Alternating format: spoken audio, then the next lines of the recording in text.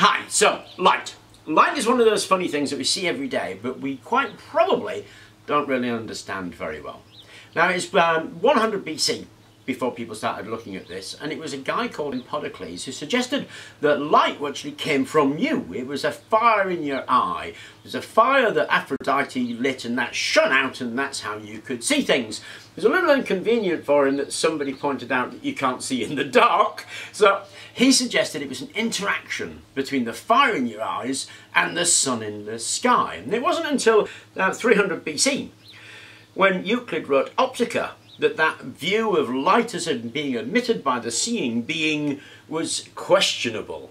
And in 55 BC, Lucretius, a Roman, took up that challenge and he suggested that light was a particle, um, um, an amount of matter that was shoved off from a light emitting body and it continued travelling in that direction once it was shoved away. And of course that idea is the idea that we think of as light as a particle. Now it's picked up again much, much later in uh, 1592 actually by Pierre Gassendi. Pierre Gassendi uh, lived from 1592 to 1655 and he's the guy that Newton read to help Newton form his ideas that appeared in the optics. So Newton's idea was light as a particle. And there were problems with it. I mean, it, it explained reflection really well, but it didn't explain refraction particularly well at all. Uh, Newton suggested that more dense fluids had a greater gravitational pull and would therefore slow down the light. But it was Hooke, Robert Hooke, who took up that story. Incidentally, Newton hated Hooke did the best he could in his entire career to make sure that Hooke was never published and all his pictures were removed from the Royal Academy. But it was Hooke who took up the challenge and was looking at how coloured light was developed. That state of argument whether light was a wave or light was a particle began in 100 BC and ran right the way up until 1875 when Faraday noticed if you take a plane polarised light, so the light's only travelling in one direction, pass it through a dielectric and then hold a magnetic field next to it, it would bend.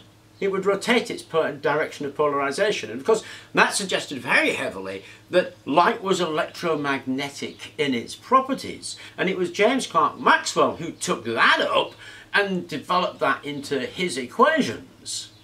So, really, if people can argue about something, they will do. Since 100 BC, they've been arguing whether it is a wave or a light, and we now argue whether it's an electromagnetic wave or a particle. And that argument actually still goes on. In some senses, it's seen to be an electromagnetic wave. In some senses, it's seen to be in a particle, and in some senses, it's seen to be a mixture of both.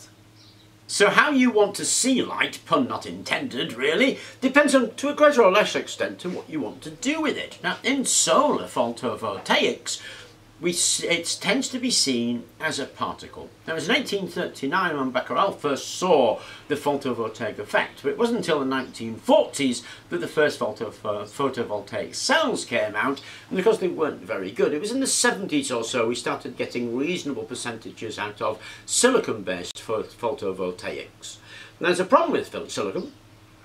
It's limited uh, theoretically at around about 22.7% efficiency. The highest efficiency has been 32.6%, but that was actually with the um, solar cell made from gallium arsenic and gallium stibnite rather than anything like silicon, so its efficiency was much higher. Now the way solar cells work, well, there are two layers of semiconducting material, an N-type layer and a P-type layer. They're doped silicon. Now in the n-type layer the doping gives you lots of free electrons which can move relatively easily because there's lots of excess electrons kicking around. In the p-type layer however it's doped differently so there's a deficiency of electrons and these are referred to as holes. And the electrons can move from hole to hole and as movement is relative what we say is that the holes can move. So we have freely moving electrons and freely moving holes. Now when we bring those two together,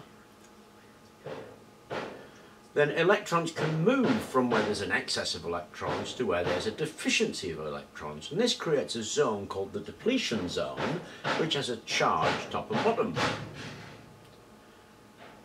Now when sunlight hits them, it knocks an electron out, and that electron's then attracted to the other side of the depletion zone, and so we get a current flowing. Now, of course, once that happens, then the electrons move from the other side and fill in the holes. This is usually arranged monolithically where we put in a contact electrode top and bottom and of course that's going to be what collects the current and we get generation. So looking at efficiency, looking at different materials, looking at improving that is a huge amount of solar research. But of course there's the other way that we seem to have forgotten in solar research. Remember it doesn't only have to be a particle, it can be a wave as well. And if we can look at collecting it in the same way that we collect other electromagnetic radiation, like radio waves for example, then we can look at creating energy directly from the wavelength of light.